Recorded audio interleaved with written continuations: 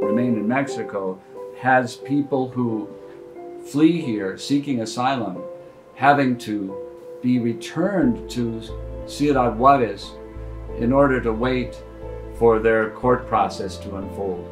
I've always been a proud American, a proud member of our country, and my understanding has always been that our country is a place of refuge. It's been built by people who sought refuge, freedom, hope, peace, life.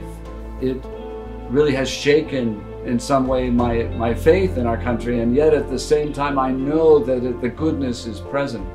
But when I see that people are no longer being welcomed, and that, and when it appears that people who have fled to our shores are having to wait in perilous circumstances without receiving help.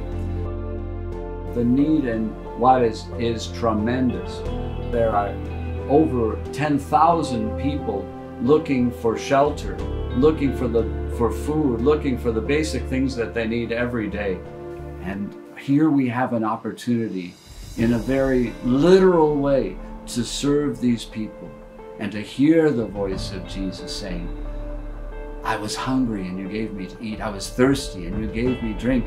I was a stranger and you welcomed me.